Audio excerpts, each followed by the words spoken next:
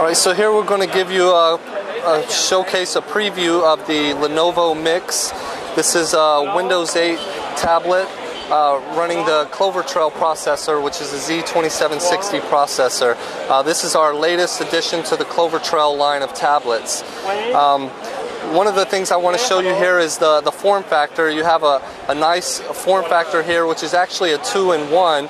So the tablet can be closed up as you saw, and then we can open it up. And there's a magnet here and a magnet here in the keyboard dock, so it will automatically connect, and it's pretty sturdy, so you can use the keyboard. Um, Another thing about the, uh, the form factor we'll show you here, it's very easy to remove from the keyboard dock. It's actually connected to the keyboard uh, with the physical USB interface.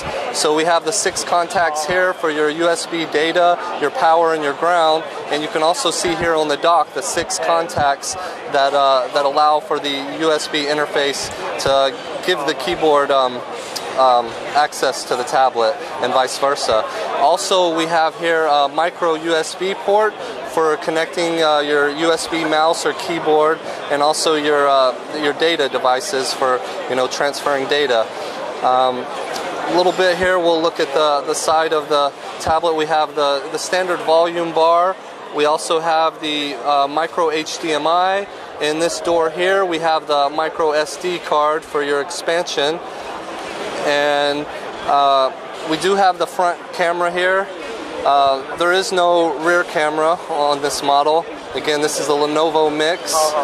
Um, and so let's go ahead and uh, connect it back here. I'll show you how easy it is to connect it. Okay, so now we have keyboard access again. And um, See, I'll show you a, 3D game here. We're going to run Soulcraft and just show you a little bit of the performance side of the tablet. Um, also, this is going to be a price reduction model, so this uh, when this is released, it's going to be very affordable. Uh, and this is full Windows 8, so you do have access to all the Windows 8 uh, store apps as well as any of your legacy Windows applications.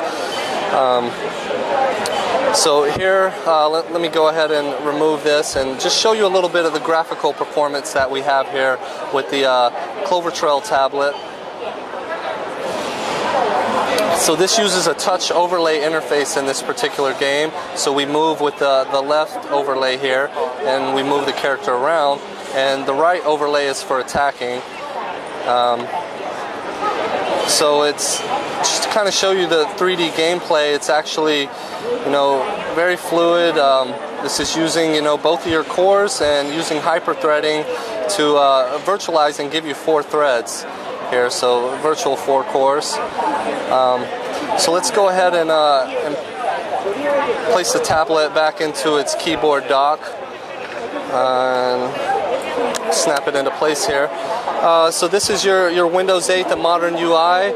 Um, you know, we can, just to show you a little bit of what you can do here in the, the modern UI. You can, uh, this is where you access your live tiles and you can run any of your applications. So we'll go ahead and go here to the desktop, which uh, most of you are all familiar with. This is your standard uh, traditional desktop mode. You have your icons that can be moved around here.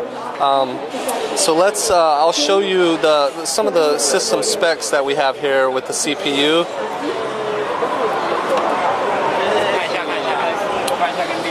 Okay, so here we see that we're running the uh, Clover Trail Intel Atom Z2760 at 1.8 gigahertz.